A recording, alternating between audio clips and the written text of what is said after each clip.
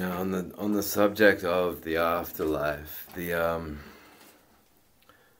dialogue bet- between a priest and a dying man, 1782, by the Marquis de Sade, the dying man's representation of uh, strict atheistic to the point of fanaticism. Um, it's his charming sense of humor, as is the fact that in the story the priest is a, is persuaded to join the dying man in entering a chamber where uh, six women await them both.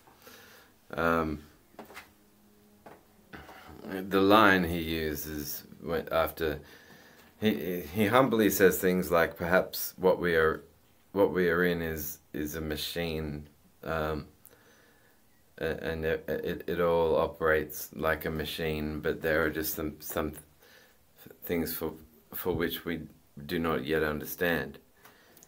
David David Hume talked about this um, and Richard Dawkins cited David Hume. He, there was a an, an analogy pitched to say that if you find were to find a watch in the desert, you would notice, despite the fact that you sense the the oceans and the rocks and the trees and the sand to all have been part of nature, your discovery of of a of a uh, a wristwatch, you would have to you'd have to know it were designed, and the human body is. Um, it's it, it's used it's used to support the creationist movement but Richard Dawkins Professor Dawkins book The Blind Watchmaker attacks William Paley's uh, analogy of this of this watch discovering this watch um, uh, and he, he goes into talks about how the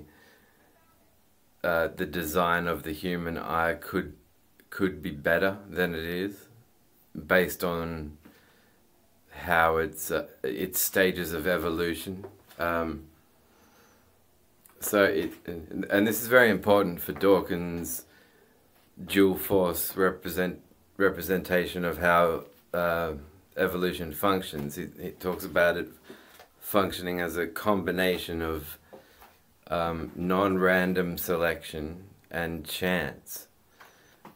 So the those both of those as some sort of uh, intertwined force is is why see I, I, if if we're if we're considered by nature the the pinnacle of Earth's evolutionary uh, demonstration then why don't we have the why, why didn't our, our eyes evolved in uh, evolve through stages of um, the most refined developmental stages possible. And Dawkins' book, The Blind Watchmaker, proves that you know the rept- reptilian eye has certain advantages uh, to it that our eyes did not inherit. Um,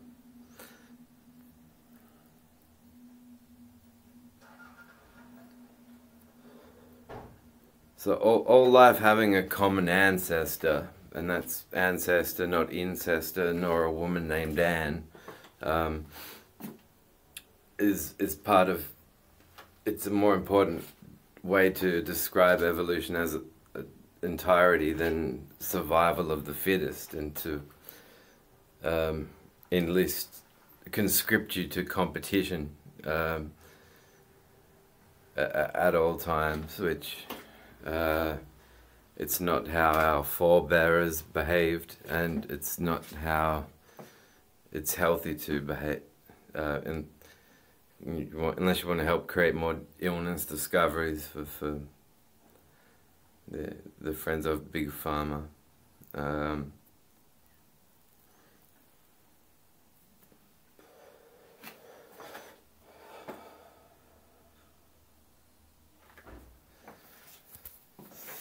So, moment I'll be. That's right. So the Marquis has his dying man say, "Well, um,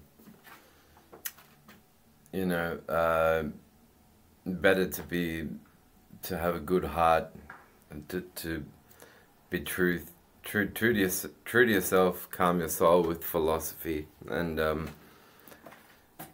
and so what about this afterlife? Um, man today, worm tomorrow, the next day a fly.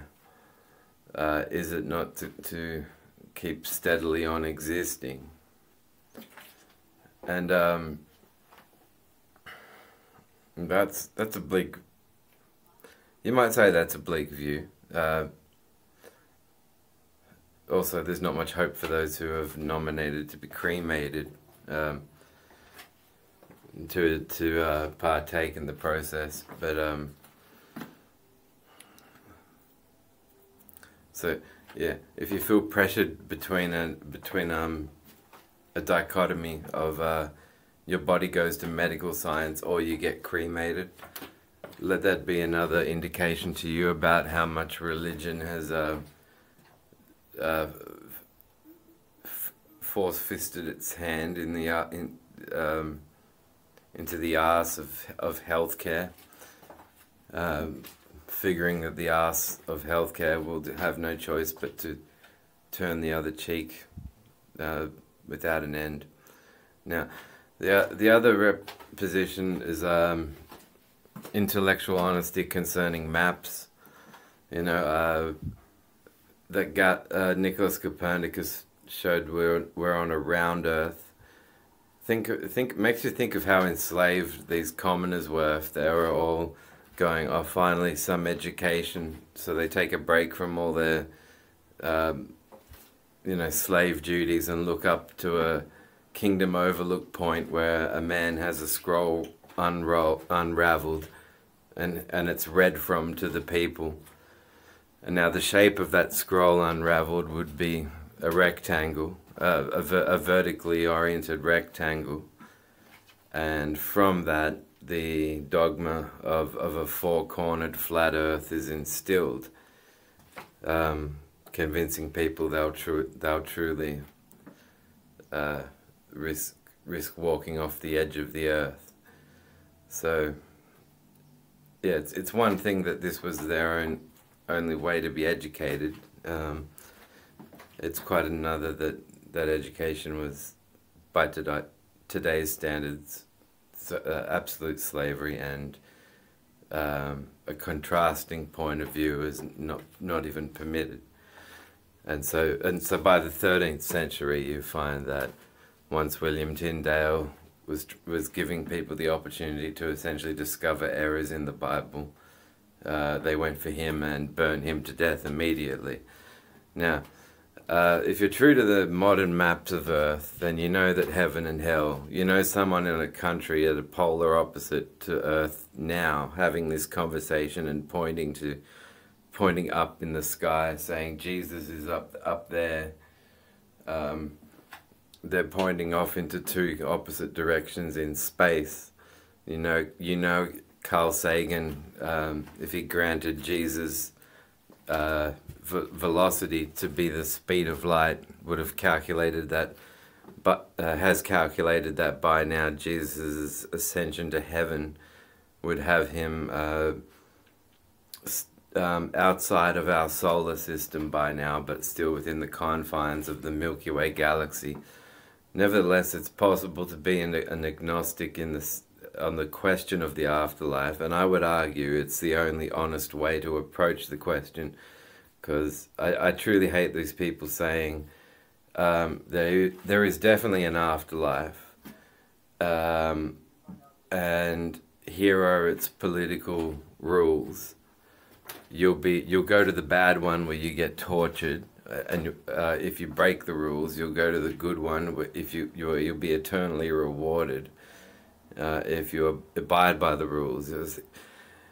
If you if you want to posit the concept of an afterlife, by definition, it either means after after this life, um, and all it encompasses, and uh, or else no one knows, uh, uh, and then and therefore no one knows what it's going to entail. So it's a surprise for the priest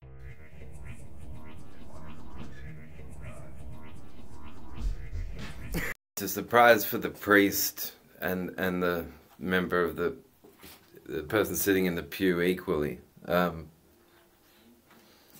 so what uh, agnosticism originally meant, I was talking about it yesterday, is that if you, if you get asked the question, are you a theist or a non, an atheist, a non-theist, um,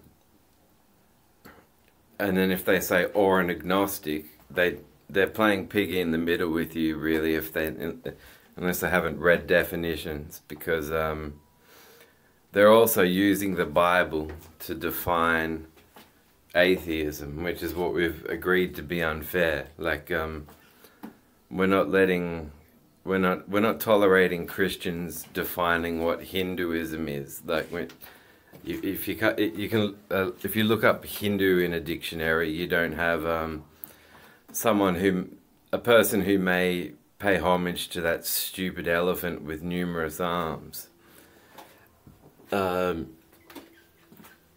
you have some tolerance shown to and, and let let uh, self definition as a group be be a gesture to the Hindus to to suggest the definition for their own group for our dictionaries. Uh, in in my submission, and and so God, the term godlessness, godless, for instance, you can still read it in certain dictionaries has um, synonymous uh, immoralist twists in its in its definition, uh, or apostate, someone who has abandoned their faith. So it suggests a failure, like it must have been a failure that they abandoned their faith. I would admit that it's a failure if you abandon it, the, the song It Must Have Been Loved by Roxette.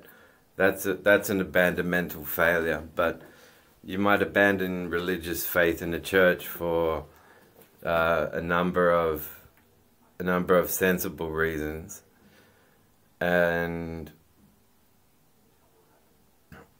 um, why aren't people after if if they're still if they're going against Copernicus and they're in favor of the flat Earth society, saying that NASA's rockets don't exist and are deceptions and there's the uh, going to the moon was to trick you, to make you think the Earth was round. Um, you know, these people should join the Flat Earth Society and make them part of the, of the uniting church, or they should stop saying heaven is above you and hell's underneath you, and that's the afterlife. Which way do you want to go? There other to do to do to do otherwise is to go against your education completely at school um, on not just the topic of sexuality, which they will in church, but against the entire entire world by its shape, um, which churches will do. Um, or they're to comprehend that asking question, wonderment about the afterlife is something that the Bronze Age could have had. And see, Bronze Age is, Bronze Age people had it. Um, with more with more sincer- sincerity in their day because some of them did truly had lacked any means to travel at any length that would falsify or verify the flat earth doctrine um, of, of the shape of, of, of the earth. Though, though I, as I agree, they had, they had um, Earth's shadow appearing on the moon. They had the scorching yet circular shape of the eye, of the sun on their eyes. They had that the earth, um, the moon is round in shape. So between the sun and the moon, why couldn't they argue that well, surely we must be on something round too? And the answer to that is is that um, that that truly would were beyond dictated to when these kingdoms unraveled these scrolls. Um, not only that, but they were at risk of being nominated for a random execution any day. So, um, they're, they're, the only implied way to uh, fail to be nominated for an execution uh, would be to be as attentive as possible to the reading of these scrolls when they were publicly addressed. Yeah, and and through force, in, in, in, impede them spreading around, um, so that it got back to the point where what what Nietzsche does is that though in certainly an independent author and, and thinker in a number of levels, what he does you you can see that from his point of view, he he was almost bored of his own philosophy education because he kind of writes, "Thus spoke Zarathustra," which is a, a satire or a parody of Jesus going out and making disciples and giving them teachings, um, except that they're they're godless. Like he, you know, the the famous line he sees the church worshipper singing songs in a forest, and he goes. Um, he approaches him saying, um, um, what are you doing? And, and the guy's like, well, with religious singing do I praise my Lord. And he goes, has this man not yet heard in his forest that God is dead? Um, and he brings in, so he poetically uses the term the death of God to essentially say the same thing as the ancient Greeks were, that we don't need them. But um, what's frustrating is that yeah, the only excuse that you've got for why uh, cr crucial Greek um, Greek ideas that were at the apex of their most wi wisest philosophical concepts um, would have been learnt more, argued more, and would have overturned more religious arguments unless the religious had some advantage and that advantage was surely force, given who they were executing, given um, given the witch trials, given the heresy hunts. Uh, you know, I don't even think the biblical story about Moses, it's geographically incorrect because he traveled, it's he's no the story is saying he traveled a something called the Sea of Reeds, which is a low tide marsh. Not that the Red Sea developed its own walling system, but um,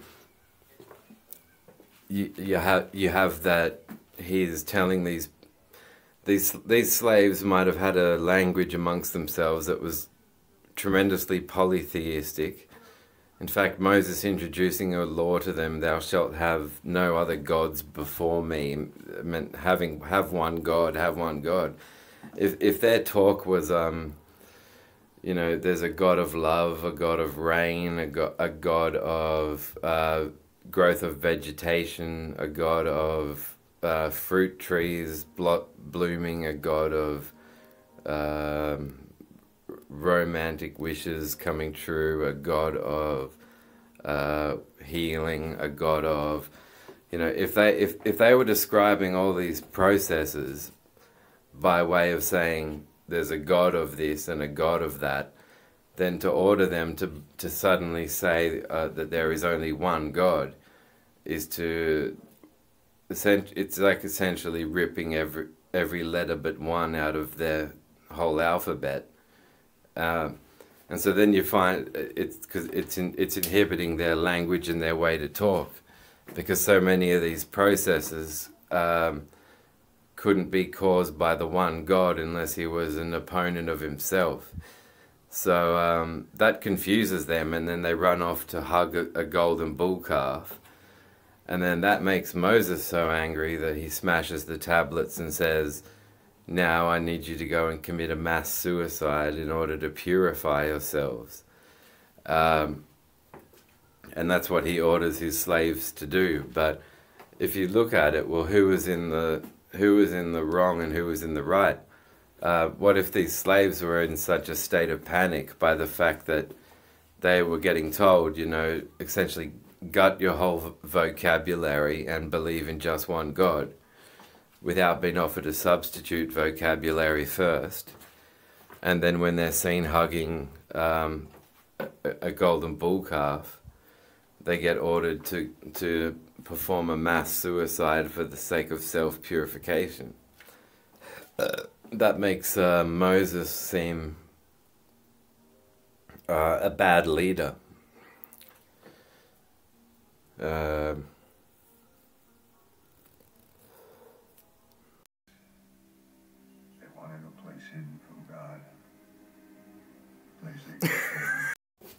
So th thus, I also think once the topic of the afterlife in a church is talked about beyond the word, the mere word afterlife, you're learning more about people that are after your life, as in the context of they have you in their pursuits, if not just merely mentally, because the, no, none of them are doing anything but bluffing, uh, if not bluffing and threatening um, by insisting to you that they not only know all, all there is to know about the most important concepts of afterlife, but that they will introduce you to a political system um, that pertains to the afterlife and that they know all about it.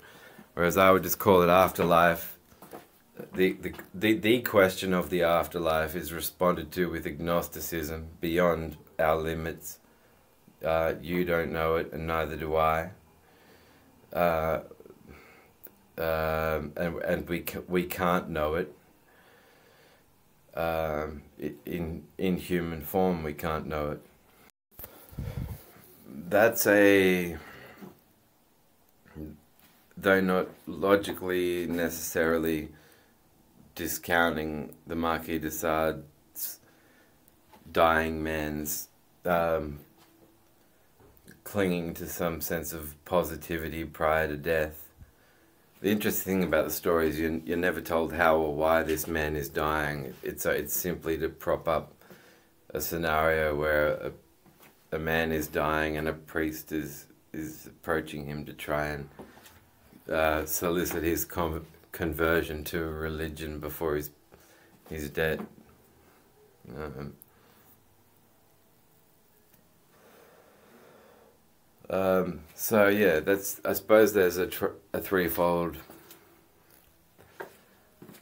that your that your creative creative workings, uh, the legacy. If you if your parents now, your your family, your children, um, they're part of a glimpse of mortality as, as as much as a person can see it.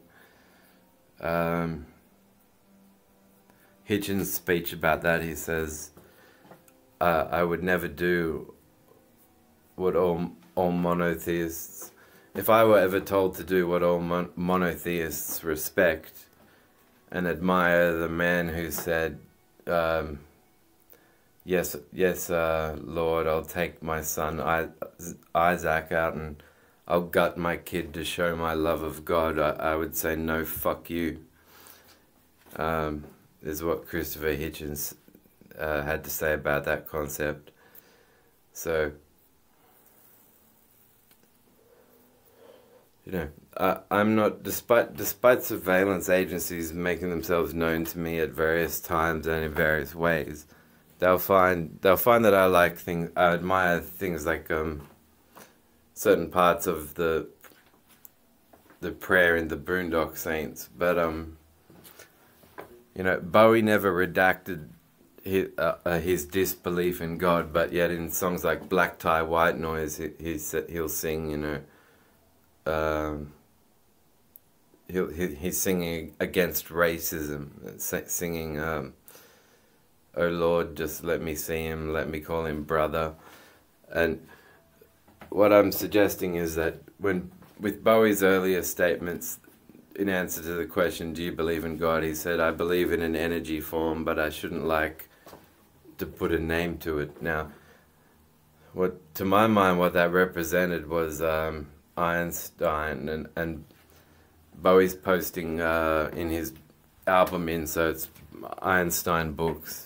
Um, uh, and surely aware of his Einstein's discussions about God uh, that that is a sort of amorphous energy is is what's meant by the term, not a not a mind that um, it, it's close to sort of what mystics are on about, but it, it doesn't it doesn't extend much beyond that as as our way of approximating a a reply to the God question. Um, not a mind that's judging us and uh, subtracting from our self accountability.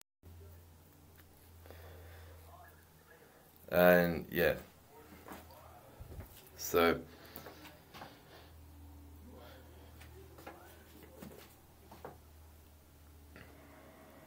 So if if these adaptations of um, that are part inspired by the, the Boondock Saints prayer that I've written on my on my wall on my walls are um they're not they they are not a concession away from non-theism. Uh,